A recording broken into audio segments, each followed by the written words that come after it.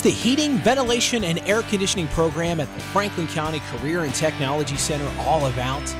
It's part of the school's construction academy that's ready to prepare you for a successful career as an HVAC technician, appliance repairer, boiler maker, or industrial maintenance mechanic. It's about leading you towards certification. It's about learning things that interest you, such as cooling and heating, ductwork, filtering, and controlling humidity, as you gain the technical knowledge and skills necessary to install, repair, and maintain systems. The HVAC program has provided me with the skills necessary to compete in today's workplace. The facilities and my instructor have provided me with valuable hands-on work experience that is sought after by employers in the workplace.